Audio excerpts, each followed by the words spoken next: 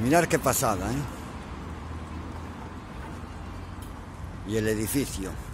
El edificio es un colegio de monjas, las siervas de Jesús. Un colegio que ya tiene más años. Es un edificio histórico también a nivel colegios. En Vigo hay varios.